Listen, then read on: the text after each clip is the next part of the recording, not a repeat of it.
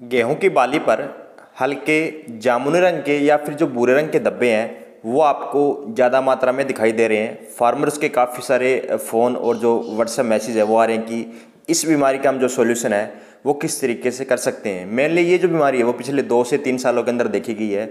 जैसे हमारी D B W एक सौ सतासी, दो सौ बाईस, तीस, छियासी है, अट्ठाईस कम जैसी जो वैरायटियाँ हैं उनके अंदर ये जो बीमारी अपना अटैक है, वो काफ़ी मात्रा में कर चुकी है।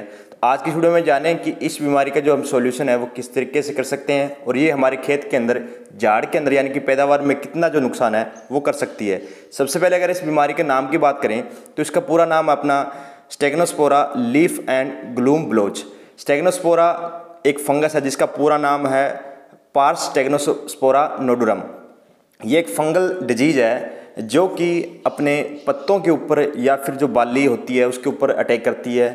कुछ बाग में हम देख सकते हैं कि पौधे का जो तना होता है, उसके ऊपर भी ये जो बीमारी है, वो अपना अटैक कर लेती है। मेनली ये अपना अटैक उसी समय करती है, जब मौसम के अंदर या फिर टम्परेचर के अंदर फ्लक्चुएसन हो। फ्लक्चुएसन का मतलब होता है कि दिन के समय जो टम्परेचर है, वो हमारा ज़्यादा चला जाता है और रात के समय जो ओस वगैरह है, वो गिरती है। तो टम्परेचर के अंदर चेंज आने से ये जो बीमारी है, अपना एक अनुकूल जो वातावरण है, वो बना लेती है, यानी कि अपना जो अटैक है, वो कर लेती है। इस बीमारी की जो पहचान है, वो इस फंगस के नाम के अंदर ही छुपी हुई है। यानी कि ग्लूम ब्लोच। ग्लूम ब्लोच का ग्लूम का मतलब होगा कवर, ब्लोच का मतलब होगा दाग या दबा यानी कि बाली के ऊपर अगर आपको हल्के जामुनी रंग के या फिर भूरे रंग के दाग या धब्बे दिखाई दें तो आप समझ सकते हो कि अपने खेत के अंदर ये जो बीमारी है, वो आ चुकी है। इस बीमारी के कारण अगर हम खेत के अंदर पैदावार की या फिर नुकसान की बात करें तो जैसे ही हमारे बाली के अंदर दाने बने होते हैं तो जो दाने हैं, उनके अंदर जो मिल्क है, वो हल्का कम बनता है अगर मिल्क कम बनेगा तो हमारे जो दाने हैं, वो बारीक रह जाएँगे या फिर हल्के रह जाएँगे।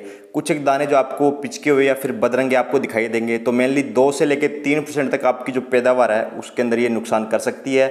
जिस वैरायटी के अंदर या फिर जिस किसानों के खेत में जो बूर है, वो आकर के चला गया है और दाना जो है, वो बिल्कुल हार्ड होना स्टार्ट हो गया, यानी कि दबाने से अगर जो दूध है, वो बाहर नहीं आ रहा तो उन खेतों के अंदर ये जो बीमारी है, आपका ज़्यादा मात्रा में जो नुकसान है, वो नहीं करेंगी। हम बात करते हैं कि इस बीमारी से हम जो निजात है, वो कैसे पा सकते हैं। वैसे तो अगर ये बीमारी आपके खेत के अंदर आ चुकी है तो आने के बाद में इसका जो रोकथाम है वो थोड़ा सा मुश्किल हो जाता है, लेकिन अगर आप स्प्रे का प्रयोग यहाँ पर करना चाहते हो तो मेरी तीन से चार जो स्प्रे है, वो यहाँ पर रिकमेंड रहती है। सबसे पहले जो स्प्रे है, वो होती है कि हमारा स्टोबिन ग्रुप और जो ट्राइजोल ग्रुप है, उनका जो कम्बिनेशन है, उसको आप यूज़ कीजिए। जैसे कि कस्टोडिया वगैरह है एमिस्टार है नटियो है, या फिर आप एक एक्सीलेंट जो टेक्निकल आता है, हमारा क्लैरोथेनोनिल जो है, पचहत्तर परसेंट डब्ल्यू के अंदर आता है, तीन सौ ग्राम प्रति एकड़ के हिसाब से आप अपने खेत के अंदर प्रयोग कर सकते हो। ये जो टेक्निकल है इमीडिएटली इस बीमारी के ऊपर जो अपनी रोकथाम है, वो पा लेता है। अगर अच्छे रिज़ल्ट के लिए आप कुछ एंटीबायोटिक जैसे स्टेप्टो या फिर बैक्टीरिया माइसिन वगैरह ऐड करना चाहते हो तो वो अभी आप ऐड कर सकते हो। इन किसानों ने अगेती गेहूँ की जो बिजाई है, वो कर रखी है। तो उन किसानों को मेरे हिसाब से जो स्प्रे करने का बेनिफिट है, वो नहीं मिलेगा। बेनिफिट इसलिए नहीं मिला कि आप स्प्रे करते वक्त जो पाँव से जो पौधे हैं, वो अधिक मात्रा में तोड़ोगे और दूसरा दवाई का जो खर्चा है, कुल मिलाकर के आपको जो ज़्यादा बेनिफिट है, वो नहीं मिलने वाला। अगर जिस किसान ने पिछहत्ती गेहूँ की बिजाई कर रखी है तो वो किसान, ये जो स्प्रे है, उसके लिए जो सबसे बेस्ट ऑप्शन है, वो रहेगा। उम्मीद करता हूँ किसान साथियों, जानकारी आपको अच्छी लगेगी अगर आपकी कोई इंक्वायरी हो तो आप नीचे कमेंट कर सकते हो। धन्यवाद।